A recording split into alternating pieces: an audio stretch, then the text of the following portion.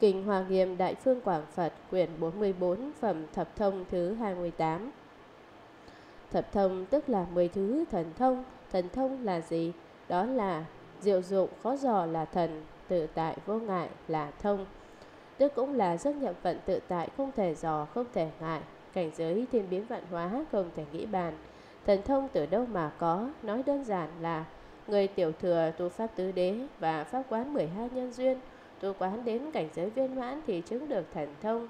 Người đại thừa tu lục độ vạn hạnh Tham thiền đả tọa, tu tập chỉ quán. Hành Bồ Tát đạo tu đến cảnh giới viên mãn thì chứng được thần thông. Thần thông của A-la-hán và thần thông của Bồ Tát có chỗ khác nhau. Thần thông của A-la-hán có giới hạn nhất định. Chỉ thấy được sự vật trong ba ngàn đại thiên thế giới, Chỉ nghe được âm thanh trong ba ngàn đại thiên thế giới, Chỉ biết được nhân duyên trong tám vạn đại kiếp nhưng vẫn còn phải tác ý để quan sát mới biết được.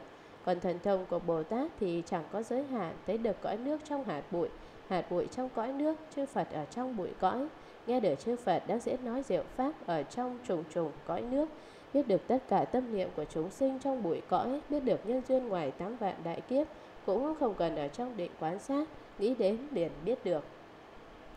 Phẩm này là phẩm thứ 28 trong 39 phẩm của Kinh Hoa Nghiêm, là phẩm thập thông thứ 28.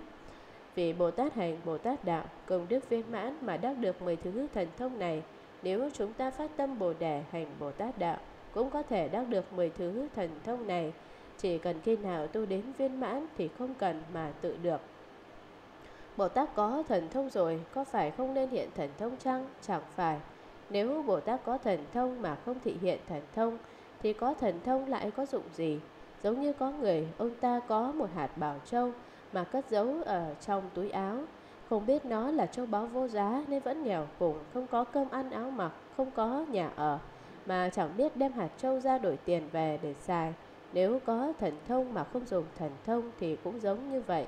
Không có thần thông mà muốn dùng thần thông thì không thể được. Đáng cười cũng giống như người si nói mộng nhưng nếu như có thần thông thì có thể tận dụng thần thông, giáo hóa chúng sinh, lợi dụng thần thông thì sẽ có hiệu nghiệm khiến cho chúng sinh tăng thêm niềm tin.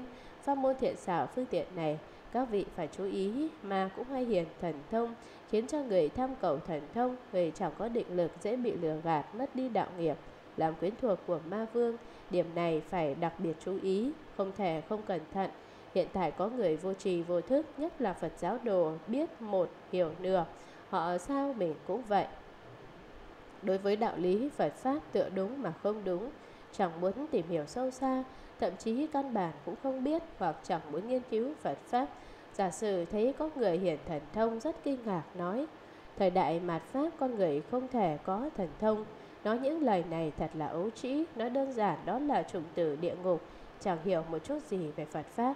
Các vị chú ý bất cứ đối với sự việc gì Trước khi chưa minh bạch triệt để không thể tùy tiện phê bình nói bậy bạ, Càng không thể tùy tiện nói không ngừng. Sai nhân quả rồi thì phải đọa vào địa ngục cắt lưỡi. Phật giáo có đạo lý trần tránh, Có định luật vạn cổ không thay đổi. Có những lời vàng lời. Thước ngọc